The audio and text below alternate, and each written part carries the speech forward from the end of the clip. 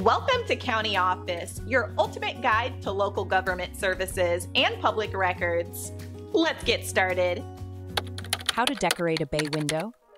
Bay windows provide unique architectural features that enhance natural light and offer scenic views. They can serve as cozy reading nooks or display areas for plants and decor. When considering decoration, first assess the size and shape of your bay window. This will influence the type of treatments that fit best. Curtains can add softness and warmth. Choose materials that complement the room's overall aesthetic. Blinds are another option for controlling light and privacy. Roman shades can be tailored to fit the window's angles and provide a clean look.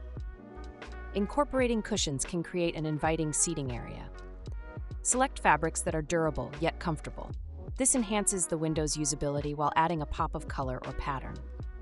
Plants can also add life to your bay window.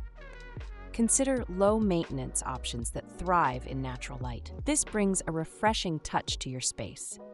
Decorative elements such as vases or books can personalize the area. Arrange items thoughtfully to avoid clutter while maintaining visual interest. Lastly, consider the seasonality of your decor. Changing elements like throws or seasonal flowers can keep the space feeling fresh and inviting.